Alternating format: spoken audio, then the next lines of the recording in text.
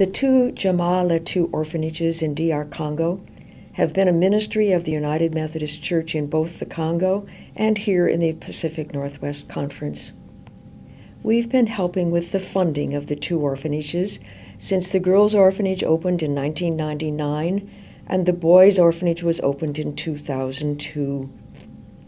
Now, 10 of the residents have completed secondary school and passed that all important state exam and they are now in the university, although a few have chosen vocational training.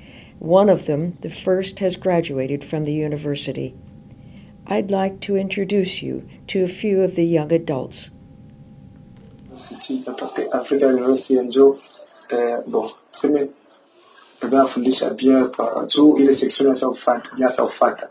Tuku les gars bien. Ya kitu cha kwanza mbele tutamshukuru mbele ni Mungu.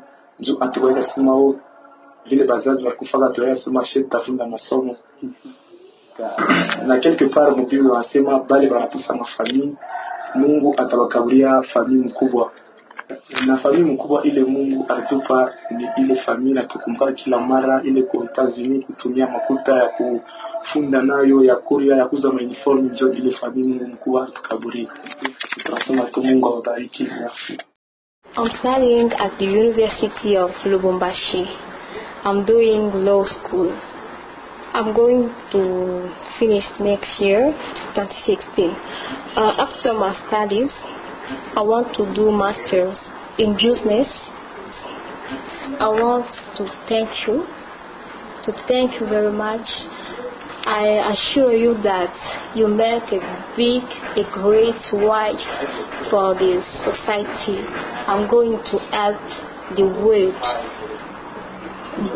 Thank you. We've made an informal commitment to the residents that if they finish secondary school and pass the state exam, that we will find the funds for their post-secondary education. Some will go to university and a few will choose vocational training. It costs about $3,000 per year for a five or six year training program.